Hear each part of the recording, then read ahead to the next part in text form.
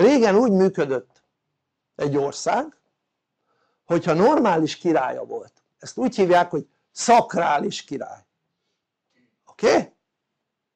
tehát szakrális királya volt, a szakrális király mit jelent? azt jelenti hogy fenti kapcsolata volt oké? Okay? legtöbb esetben vagy már úgy működött az az illető vagy ugye az is előfordult hogy beavatták és úgy lett szakrális király jó? tehát egy beavatási ceremónián vett részt ahol megnyílt az az elme része amivel a kapcsolatot létre tudta hozni, tehát megnyitották, jó? lényeg hogy miért kellett a szakrális uralkodó? azért hogy ne kelljenek tanácsadók. Tehát azért hogy bármilyen kérdésben döntést tudja hozni. Még olyan kérdésekben is amihez nem igazán ért vagy talán semmit nem ért. Tudjon döntést hozni ezáltal az uralkodóknak nem volt tanácsadó testülete. A szakrális uralkodóknak. Nem volt ilyen-olyan miniszter meg nem kellett. Érted? na most a mai világban az állami vezetők azok tanácsadókkal veszik magukat körül. Olyan tanácsadókkal akiknek nincs gyakorlatuk. Lehet hogy volt régen 20 évvel azelőtt.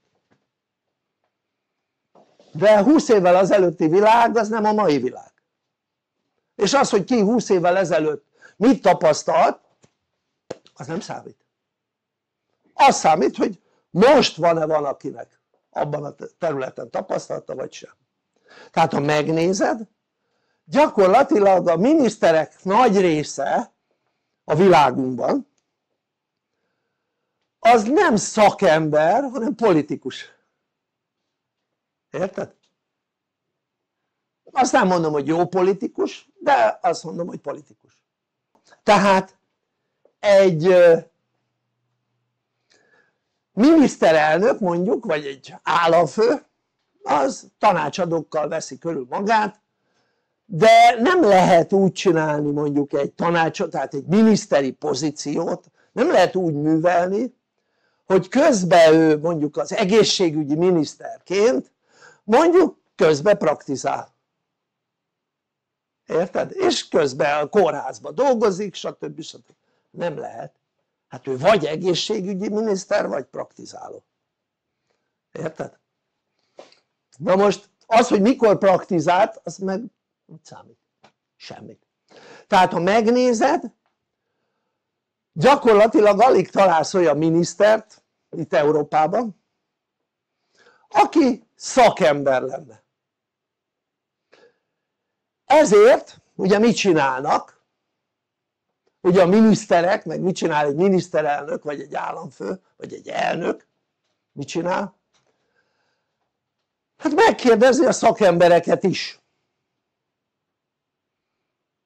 de nem tud dönteni hogy milyen döntést hozzon, jó, jól nem tud dönteni mert ahhoz a területhez nem ért illetve nincs mivel nem szakrális egy miniszterelnök se nincs kapcsolata a fenti létformával oké? Okay?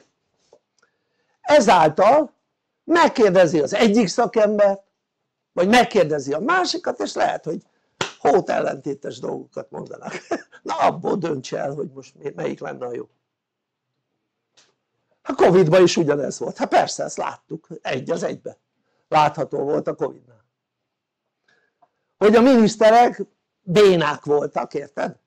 és megkérdezték a szakemberet és az egyik ezt mondta, a másik azt mondta és annak alapján döntöttek amit a többség mondott.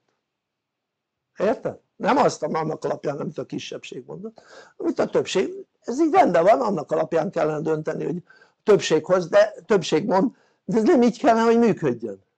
Hanem úgy kellene hogy működjön hogy olyankor mikor döntést kell hozni egy miniszternek vagy egy miniszterelnöknek vagy egy államelnöknek akkor neki tudnia kellene hogy melyik a jó döntés nem elfogadni a szakértőket meg a szakembereket mert sok esetben az van hogy ki tudja milyen érdek van a szakember mögött vagy a szakértő mögött oké? Okay?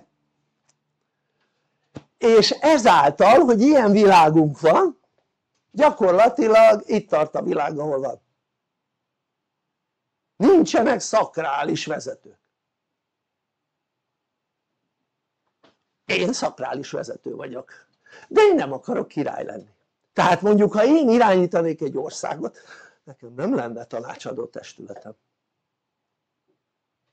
Én ha valahol valami probléma van elmennék megkérdezni. Elmondanák az emberek és utána megkérdezném fölfelé a választ hogy mi a helyes.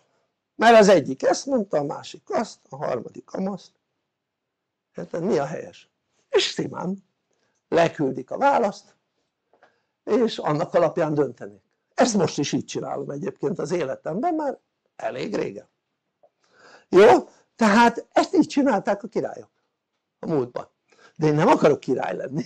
Államfő sem, nekem az a dolgom hogy az emberiség számára olyan tudást juttassak el amit nekem leküldenek. Ha azt gondolod hogy abból a sok információból amit én átadok nektek én azt mind tanultam akkor te nagyon tudatlan vagy azoknak egy töredékét tanultam körülbelül annyit mint a jegyzeteimben látsz a képzéseken na annyit tanultam oké? Okay? ahhoz képest egy kicsivel többet adok át mint a jegyzeteimben vannak oké? Okay? Ami azt jelenti hogy nekem a tudásom nagy része az nem tanult tudás hanem kapott tudás. És azért gondold végig nem olyan sok emberrel tudsz találkozni akik tanítók mondjuk néptanítók akik így működnek. Például megnézed mondjuk a visszamész nagy tanítókra itt Magyarországon akik még élnek is akár. És minden tiszteltem egyébként az övék. Mondjuk mit tudom én Müller Péter. Vagy Bagdi Emőke, élő emberek még, hála Istennek. És mondom minden tisztán a tudásuk az tanult. Nem kapott, érted? tehát ők nagyon sokat tanultak és a tudásukat átadják, érted? én is sokat tanultam de közel se annyit mint ők érted? igaz hogy milliókat fektettem a tudásomba azt ugye meg is van de kevés lett volna ahhoz hogy ezeken a területeken mind olyan tudást, módszereket tudjak átadni ami működik